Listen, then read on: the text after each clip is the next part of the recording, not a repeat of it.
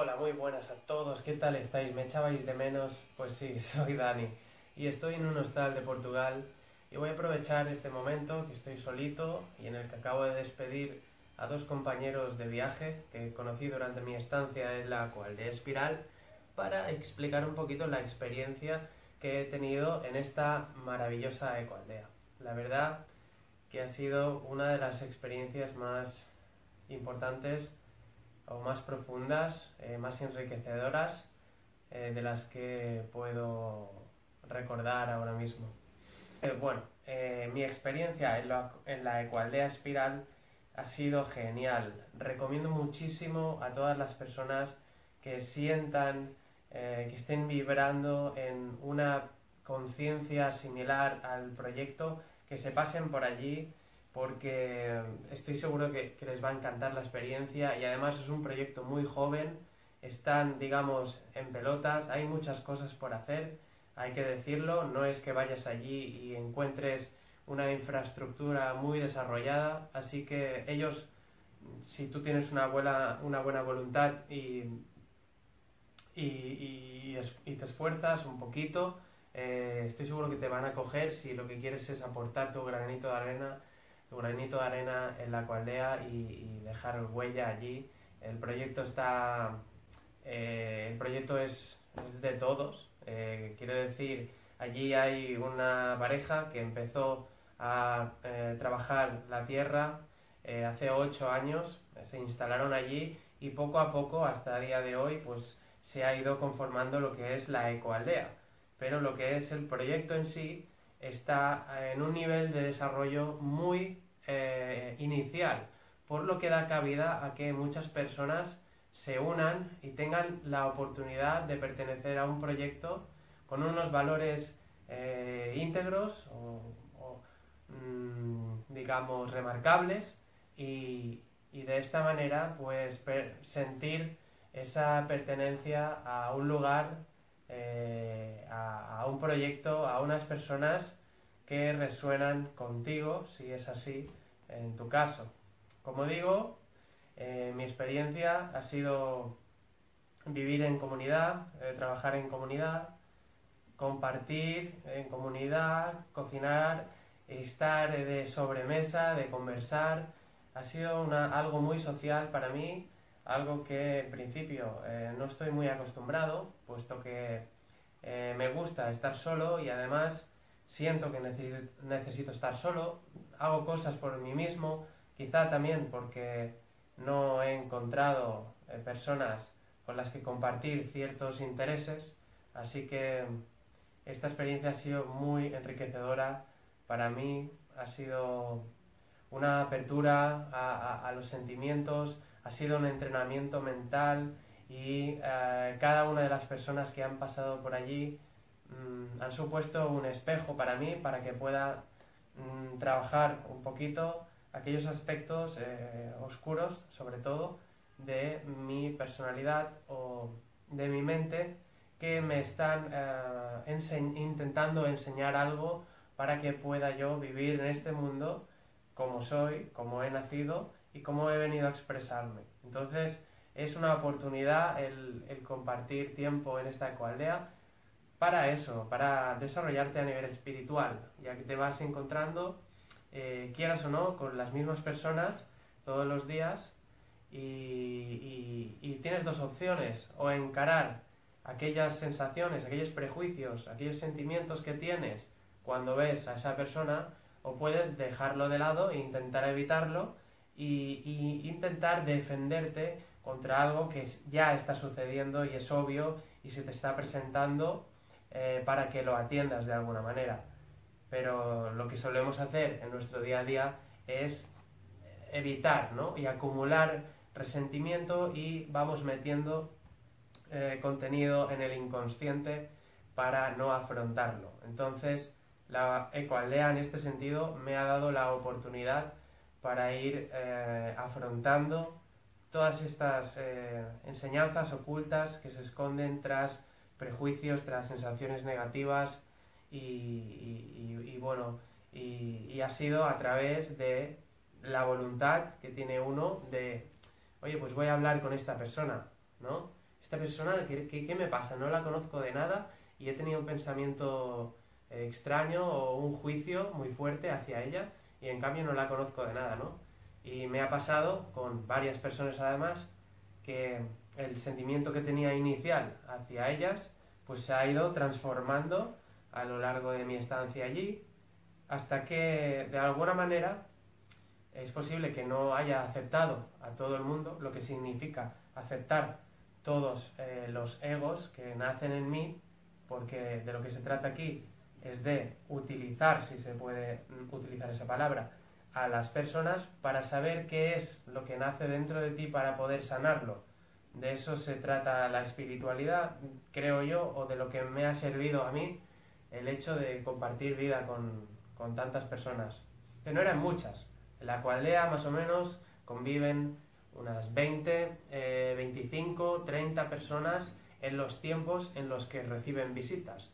Porque la verdad es que en la ecualdea misma tan solo estaban viviendo 4, 5 personas más o menos y ahora parece que eh, gracias a los incentivos y a las propuestas que tiene la ecoaldea para que más gente vaya viniendo, pues se va integrando poco a poco gente eh, con, el, con el propósito de que la ecoaldea se vaya consolidando y se vayan abriendo puertas en el desarrollo de la misma, tanto a nivel de infraestructura como a nivel de economía, repartiendo tareas y organizándose de, la mejor manera posible.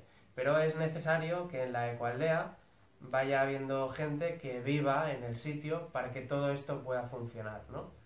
Y ellos están bastante abiertos, repito, a que la gente, si tiene una buena voluntad, si está alineado con los valores de la ecoaldea, se una a ellos para desarrollar este proyecto que eh, desde mi punto de vista es muy legítimo y que cualquier persona puede adoptar como suyo porque eh, puede ser que una, uno tenga la idea de que quiere un proyecto propio y quiere desarrollar algo que nazca de él mismo. Pero yo creo que eh, en este proyecto uno puede colaborar y puede sentirse y hacerlo parte de uno mismo, eh, porque realmente es como casi empezar un proyecto no desde cero, porque ya tienen el lugar, ya tienen infraestructura, pero falta mucho por hacer. Por ejemplo, no hay eh, muchas veces no hay ni agua caliente y a veces ni agua porque hay problemas de las tuberías y bueno, hay cosas que son muy elementales y muy básicas que todavía no están solucionadas y que, y que hay que trabajar. Entonces, eh, pues por eso mismo uno puede estar ahí eh, afrontando los problemas iniciales que conlleva hacer un proyecto como este. Por otro lado, por ejemplo, solo hay un baño eh, dos baños, digamos, eh, uno con agua caliente en la ducha y el otro no. Y después tenemos también, aparte, dos baños secos, lo que se llaman baños secos, que básicamente es una tienda de campaña eh, con, una, con un agujero en la tierra, ¿no? Que hagas dentro y esto va a utilizarse más adelante como abono para, para el huerto, para las plantas. y requieren bastante mejora. Eso ya lo saben ellos y, tal, pero hace falta gente que viva ahí, hace falta eh, incentivo, hace falta mm, dinero para poder hacer las cosas, ¿no? Pero bueno, que la economía en sí pues funciona, con sus precariedades, de momento funciona. Bueno, eh, me estoy enrollando mucho, creo, no sé si voy a, voy a ver la vez, es la primera vez que voy a una ecoaldea, incluso a una comunidad de estas características. Así que estoy muy contento con la experiencia y además he encontrado un modelo de vida, una, manera de vivir que me parece que va muy acorde con mi, sentir, mi sentir en este mundo. Eh, estar rodeado de personas que tienen los mismos intereses que tú, en un ambiente natural, eh, con valores eh, o pilares de vida eh, similares a los que tú valoras, pues eh, es increíble, ¿no? ¿Qué más quieres, no?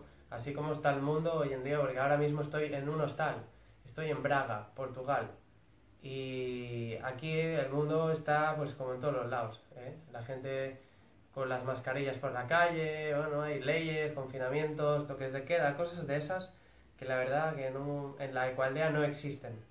Hay que decirlo, allí eh, el COVID no existe literalmente porque la gente está centrada en lo que tiene que centrarse, ¿no? En el trabajo interior, en hacer las labores de, de trabajo, en las actividades, en, disfrutar, en estar conectados, eh, en cosas importantes. Allí lo que he notado es que la gente no se permite estar, eh, o no se permite o no puede, tal vez, estar eh, en una vibración muy densa, en estar encerrado en cosas egoístas. Ahí la gente entiende de manera natural que, que hay que hacer grupo, ¿no? Hay que estar conviviendo en comunidad y que no puedes tú ir con tus caprichitos, ¿vale? Mentales, egoístas, y perturbar la armonía del lugar. Y eso es una cosa muy, muy bonita que he notado eh, en mí y en todos, realmente. No hay eh, muchas exigencias personales, ¿no? Que a la vez sí que hay espacios en, los que se permite expresar esas disonancias o, cualquier, eh, cualquier aportación, cualquier Mm, eso, sugerencia. Eh, esta, esta ecualdea te permite realmente expresarte y es algo que, que ha sido muy bonito para mí. Eh, he encontrado un lugar en el que me he podido expresar, en el que he podido ser yo, en el que no me he sentido juzgado, en el que se me ha escuchado y, ha sido maravilloso en ese sentido. Ha sido el lugar en el que yo como persona me he podido sentir más yo mismo, por así decirlo, y, sin, encontrar conflictos ni... no sé, ha sido maravilloso. Y lo bueno es que allí la gente está para lo que está, ¿no? Si tú tienes un conflicto con alguien, eh, es, muy probable que esa persona de alguna manera resuene con tu conflicto, eh, porque las cosas eh, no son cosa de uno normalmente, a veces sí es una paranoia, ¿no? Pero cuando sientes algo con una persona, es porque hay una retroalimentación entre la imagen que tú tienes de la otra persona y la imagen que tiene la otra persona de ti. Eh, entonces, eh, estos son relaciones eh, de roles, relaciones egóticas, digamos, y que en esta ecoaldea en especial tienes la oportunidad de subsanar, que para mí ha sido algo muy, muy obvio, muy interesante y a nivel práctico eh, ha sido pues, e-, ese ejercicio de lanzarte a abrirte a tus sentimientos y de tener conversaciones eh, más o menos profundas con las personas con las que eh, has tenido estos conflictos. Así que en ese sentido ha sido espectacular. a nivel de desarrollo humano o desarrollo espiritual, a nivel grupal, ha sido para mí una de las mejores o la mejor incluso experiencia que he tenido en la vida en ese sentido. Y, bueno, ¿cómo es un día en la ecualdea espiral? Bueno, un día normal, si vas allí como visita de agua, lo que haces es levantarte a la hora más o menos que quieres, si quieres puedes desayunar y a las nueve y media se hace un círculo en el cual em, se hacen tres cosas básicamente, ¿no? Se organiza el día y se reparten las tareas que se tienen que hacer durante el día. Estas tareas normalmente las eligen las personas que conforman el círculo y lo eligen eh, voluntariamente en función de si tienen ganas ese día, de si se sienten motivadas por la tarea eh, y, se cuida mucho eso, se cuida mucho eh, el tema de sentirse a gusto con lo que uno hace y no tanto el se tiene que hacer esto, hay que hacerlo eh, que también hay cosas importantes que hay que hacer, pero se prioriza mucho por parte de, de Adzar y, por parte de Chenia, eh, les interesa mucho el tema de que tú estés a gusto. Por poner un ejemplo, yo un día que me encontraba así un poquito pachucho, pues enseguida no se preocupan de ti, de que no estés ese día haciendo algo con lo que te vas a sentir forzado a hacer o que no te apetece y demás. O sea que ha sido, han sido eh, muy acogedores, muy amables, siempre me han tenido muy en cuenta a mí y a todos. Entonces la energía que ahí se mueve es muy humana y ha sido, muy, ha sido brutal en ese sentido. Entonces en ese círculo se reparten las tareas, luego se da una serie de informaciones de la gente que puede dar cualquier tipo de informaciones y bueno, y luego se hace algún ejercicio que puede ser en, común, eh, donde se pone una música o se, lee un, trocito de un libro o cualquier cosita. ¿eh? Y después empieza ya, digamos, lo que es la actividad comunitaria, que son tres horas y media por la mañana, de momento, o es lo que yo he visto durante este mes y, un par de días que he estado allí. Y, bueno, eh, después de la actividad comunitaria eh, se come, a las dos se come, en la cocina. Eh, en la cocina trabajan dos personas al día o tres en función de la gente que haya en ese momento en la cualdea. Se hace una comida vegana y se sigue lo que es la compatibilidad de alimentos que trata de a grandes rasgos no mezclar macronutrientes, eh, no mezclar grasas con, bueno, grasas con eh, proteínas no, pero grasas con carbohidratos sí, y no mezclar carbohidratos con proteínas en una misma comida. Entonces, lo primero que se hace, tanto en la comida como en la cena, es abrir el estómago con una ensalada, que siempre es la misma ensalada, así que mm, no esperes una gran variedad, es un poco aburrida eh, la comida en ese sentido.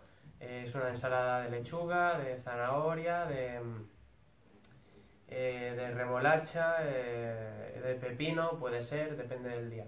Pero siempre más o menos la misma ensalada. Y después, a continuación, se come o una legumbre o bien un carbohidrato, pero no las dos cosas. No podrías combinar, por ejemplo, unos, unas alubias con arroz, porque es incompatible según la compatibilidad de alimentos que siguen en la ecoaldea. Y por la noche sería lo mismo, la ensalada para abrir eh, la comida y de segundo se haría eh, pues un, un caldo eh, o, una, o un puré que contenga, como digo, o una legumbre o un cereal o una batata, pero no mezclar patata y cereal y, legumbre, por ejemplo, a grandes rasgos. Y bueno, por la tarde ya se hacen eh, lo que se llaman actividades de corazón. Las actividades de corazón son actividades que la misma gente de la ecoaldea propone, tanto los visitantes como la gente que ya eh, está allí. Y tú puedes voluntariamente asistir o no. Eh, estas actividades pueden ser de cualquier tipo. Pero mientras yo he estado aquí, pues he visto actividades, por ejemplo, de masajes. He visto actividades de cómo utilizar el péndulo. Eh, una actividad de canalización que hacía Landesh, un, chico que se está integrando allí para vivir. Eh, yo mismo di un taller de parkour el último día. También uno de mm, meditación en la que cada uno exponía eh, una técnica de meditación que conocía y que practicaba para compartirla con las demás personas. ¿Qué más talleres? Taller de risoterapia, taller de uh, terapia cráneo-sacral, por ejemplo. Cada uno aporta el conocimiento que sabe y lo comparte con los demás. Y ha sido súper enriquecedor para mí conocer tantas personas con tantos conocimientos específicos y que además a mí me interesaban, ¿no? Me he saltado muy pocas, muy pocas actividades de corazón porque la verdad que estaban muy alineadas con lo que a mí me interesa y me, ha impactado mucho el encontrarme con, con tanta afinidad. Ha sido una cosa muy brutal, ¿no? Y con las sincronías que se dicen. Eh, las sincronías son pues esas coincidencias digamos, que eh, nos, nos, proporciona el universo de alguna manera eh, y, que, bueno, dejan entrever que estás alineado ¿no? con él, de alguna manera. Entonces yo lo he vivido mucho esto. antes de ir a la ecoaldea, pues me interesaban mm, algunos temas, estaba buscando cierta información, me llegaba cierta información y he venido a la, ecoaldea y, y eso ha sido como eh, ampliarse. Ha sido como, wow, no puede ser. Eh, no lo sé. Temas de bioconstrucción, por ejemplo, temas de, plantas silvestres, temas de espiritualidad, de, conciencia galáctica, o sea, cosas muy, muy concretas también y, las he visto todas allí en la Ecualdea, ¿no? Eh, cosa que ha sido muy, muy curioso. Eh, ¿Qué más puedo decir? ¿Qué más puedo decir? Bueno, pues como decía, en estas actividades de corazón o vas o no vas. También puedes aprovechar la tarde para darte un paseo, por ejemplo, por los distintos caminos que hay por la ecoaldea. La ecoaldea es un sitio mm, situado en un valle, es un sitio precioso, maravilloso. Está lleno de, robles que, producen em, bellotas y de castaños. También se hacen muchas castañadas, ahí de todas las maneras he probado castañas durante mi estancia. Eh, una de las eh, cuales mm, descubrió Andrés, un chico que estaba en la aldea, las preparó con, un wok, digamos, ¿no? Con el, con el fuego, pero cortó ajos a láminas y, bueno, las rebozó con aceite, las castañas y quedaron muy buenas, así que gracias Andrés por eso. Em, y bueno, eh, como digo, te puedes ir a pasear por, los distintos sitios que tiene la coaldea y tiene un río que pasa por debajo del valle que es muy, muy bonito, eh, un río precioso en el que te puedes bañar. Em, yo me he bañado un buen par de veces, está muy fría el agua, pero vale la pena. Y, y bueno, también te puedes ir al pueblo, de vez en cuando la gente puede subir al pueblo para coger wifi en el bar del pueblo, que está a 15 minutos andando de la Ecualdea. En la Ecualdea no hay coches, por lo que tienes que ir andando siempre. bueno, está el coche de la Ecualdea, pero nadie baja hasta allí en coche. Y no se puede utilizar el móvil, eh, solo puedes utilizarlo en tu espacio privado allá donde duermes. Y no puedes utilizar internet. Así que si quieres utilizar internet tienes que subir arriba. Esto para las visitas, porque luego más para adelante, si, si la gente se integra, hay otras, otras cosas que ya eso eh, deberíais saberlas si vais allí y tal. Entonces, wow. Luego el sábado y el domingo es libre, así que se hacen excursiones, mm, se está pues por allí dando vueltas, distendido de una manera ya que cada uno hace lo que quiere, ¿no? Importante decir que hay una salita de meditación y hay una salita también que se utiliza como librería. Y allí pues bueno puedes leer libros súper interesantes todos y bueno todos. Quiero decir que no lo sé es como decía antes lo que a mí me interesa parece que está allí no hay mucha muchos temas que resuenan con, mis intereses. Y después la sala de meditación, eh, en la cual muchos días a, las 8 a partir de las 8 de la mañana la gente ha ido allí a hacer su meditación. No quiero extender mucho este vídeo, solo quería hacerlo para dejar constancia de lo que ha supuesto mi paso por la Ecoldea, porque yo ya lo sé, así que bueno, hago este vídeo y para compartirlo un poco para apoyar en la medida de lo posible a la ecoaldea, porque para mí es un proyecto muy, muy bonito y me gustaría que por allí pasara gente que resonara con el proyecto y que pudiera aportar algo. Así que recomiendo este proyecto al 100% y espero volver de, corazón. tengo realmente la intención de volver, si me dejan. Y, bueno, eh, nada más. Cosas, a ver, cosas. El tema del huerto, por ejemplo. Eh, tengo que decir que el huerto está en un estado eh, eh, de evolución bastante retrasado. Hay mucho trabajo allí por hacer y tiene sus dificultades y, tal, pero la verdad es que lo ideal sería poder consumir los productos de, que se generan en la aldea. Pero no es así. De momento compran las verduras y las frutas eh, afuera, que por cierto, frutas y verduras son los únicos productos que no tienen por qué ser biológicos, ecológicos, orgánicos. El resto de productos tienes que comprarlos em, con estas certificaciones eh, oficiales para que puedan entrar dentro de la coaldea. porque otro tipo de productos solo pueden entrar si son eh, ecológicos, eh, orgánicos, mm, biológicos, ecológicos, orgánicos. Ya, ya ni lo sé las etiquetas. Bueno, bueno, podría, podría decir muchas cosas más, pero lo voy a dejar aquí porque no quiero alargar este vídeo y solo quería transmitir una impresión general de lo que ha supuesto mi estadía por estos lares.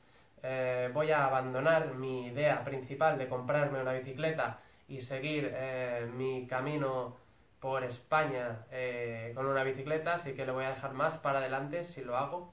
O lo voy a olvidar porque no estoy atado a ninguna idea que pasa por mi cabeza y las puedo cambiar como me venga en gana. Muchas gracias por ver este vídeo, espero que te haya gustado. Si has estado en la Cualdea Espiral y has visto este vídeo, salúdame. Y si no has estado, quieres preguntarme algo, puedes preguntarme y te recomiendo que si tienes alguna sensación de que te está diciendo que este proyecto te mola y estás buscando opinión, por ejemplo, eh, no te lo pienses, ves y experimenta por ti mismo. Eh, y ya está, esto ha sido todo. Espero que os haya gustado mi reflexión y que no me haya hecho muy pesado. Muchas gracias y nos vemos en el siguiente vídeo. Hasta luego.